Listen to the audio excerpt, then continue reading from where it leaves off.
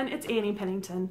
I'm doing a little rearranging in my shop today, so I thought I'd share with you how I prevent rust on my hydraulic press. I share a space with my boyfriend.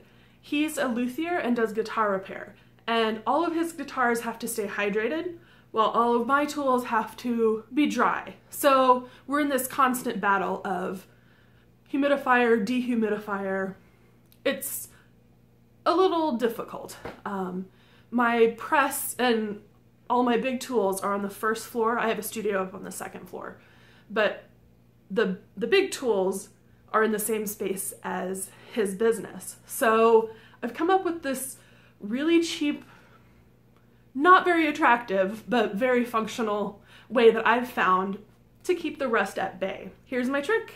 You know those little packets of silica that you get like when you buy a new pair of shoes or it's in medications um, little paper packets that absorb moisture. Well, what I use is kitty litter. So this is, I think it's pure silica. It might have some other stuff in it. Um, but it's the clear cat litter. Um, it's worked wonderfully.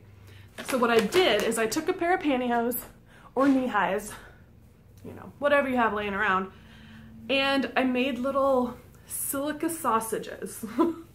so they're kind of gross looking, um, but it was really easy to make a whole bunch of them. Basically, pour some silica in a pair of pantyhose, tie a knot, cut it off, tie another knot, and then keep filling until you, you know, make as many of these as you want.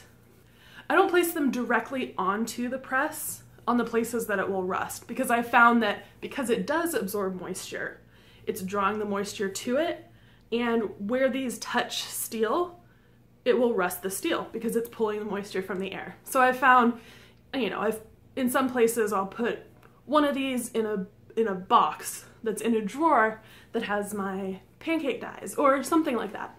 Um, for my press, I just sit it like I'll balance one up here or flip it over. This will all make more sense later.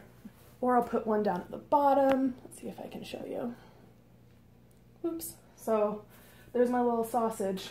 Now, if I were to leave this the way it is in this humid environment, it's not gonna really do much good. So instead of trying to control the humidity in the entire room, what I do is I create a mini environment just for the press. It's not pretty, but I use a trash bag.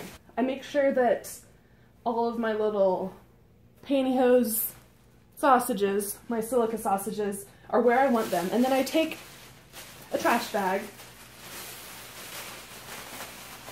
and then I just slide it over the top, making sure that everything is within the trash bag. I've had it like this with a trash bag over it for how many years? Probably three, three and a half years. So I know it works. Um, will it work in, you know, coastal cities where it's humid and salty? I don't know. But it works for me in Wisconsin in my boyfriend's guitar repair shop. I hope that helps. It's just a quick little tip. Um, if you have any questions, let me know. If you like this video, please give it a thumbs up, um, subscribe, and thanks for watching.